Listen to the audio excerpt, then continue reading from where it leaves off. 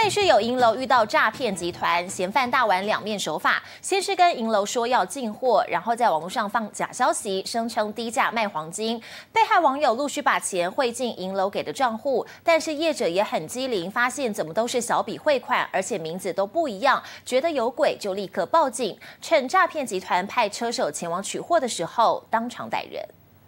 银楼内好几名远警准备将黑衣男子带回，原来他是车手。哦，无无十分钟伊讲要搞，都有人要来。还有没有？哎，现在说的。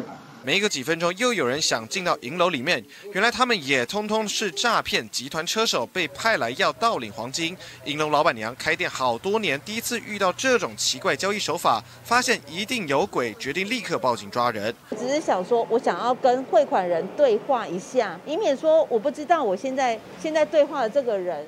是不是汇款人？老板娘靠直觉反应成功识破诈术。警方查出这个诈骗集团先在网络上发文贴出要低价买卖黄金的讯息，接着转头和银楼谈交易，事后偷偷把银楼给的汇款账户装成是自己的，提供给买家。钱虽然进了银楼，但嫌犯却派车手陆续取货，打算不花一毛钱拦截 A 下全部的金条金块。业者并对姓名意外戳破这诈骗伎俩。我真的觉得很倒霉。桃园的那个侦查队呢，就把我的账户给做警示账户，会造成说我的出入款全部都不能用。协助破案立了大功，但业者直呼有够倒霉，现在被怀疑是诈骗体系其中一环，导致自己的账号遭到冻结。不法分子躲在网络后面行使诈术，警方也提醒民众网购千万要提高警觉。记者宋仁张世奎台北采访报道。